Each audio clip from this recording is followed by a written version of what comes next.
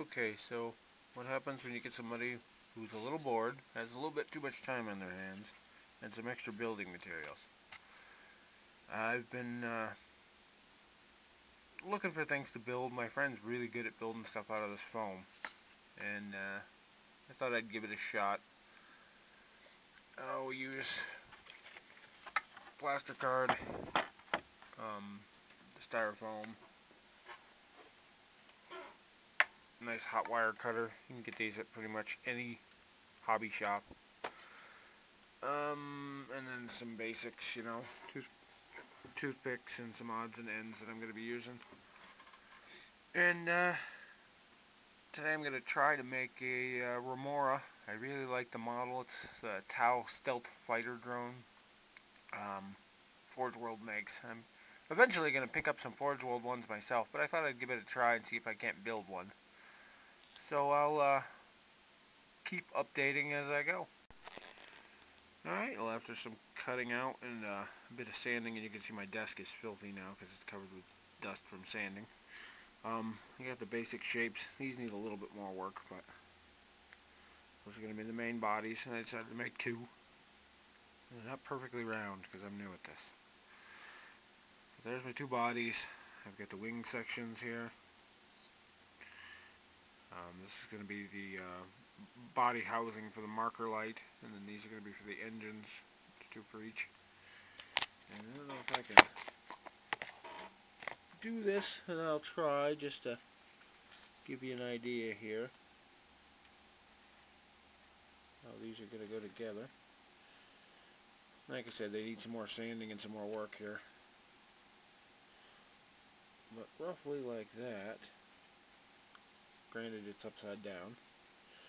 Oh, and the flat wing goes forward. And these are going to glue on. I might need to change the angle on those cuts just a hair. But uh, that's that's the basic idea. Granted, like I said, it's upside down.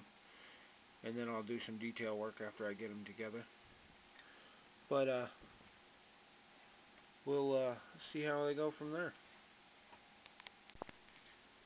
Okay, a little bit more of a mess. Uh, I've gotten the, the bases here glued together, pinned with a toothpick until they dry, and then I'm going to clip these off on the ends, and uh, you won't even know it's there when it's done. Um, I cut out, lose my drill here, a, uh, I can get it to focus there, it's just a piece of plastic card, four holes in it. These ones aren't straight, that's why I didn't use that one, but and then what I did was trim down the toothpicks about half and sanded the end down so it's flat because I plan on making everything from scratch. And what that turns out is like this, which basically makes the barrel of a burst cannon. And uh, I still got to come up with something for the end. I was originally going to use a piece of pen tube, but it's a little too big. So I'm going to uh, tweak around with something, I'll find something to use for that. But that's how that's coming along. So, we're getting there. So, uh, I did go ahead and use the pen casings. I cut them a little bit shorter than I originally planned, and uh, there's my burst cannons. So, uh, get some more parts, gotta build the rest of them. Uh, Got those glued together and they're waiting to be dried here. And uh, I'll be back.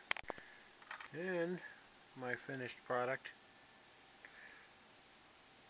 needs a little bit more detail work. I'm going to inscribe some mold lines and got to put the Seeker missiles on still, but I thought they turned out pretty neat. I put the guns a little more forward most of the ones I've seen had the guns back like under the wings like the, the regular model and then the Seeker missiles where I have these but I'm going to put the other way I put the Seeker missiles under the, the top part of the wing here. But that's my drones.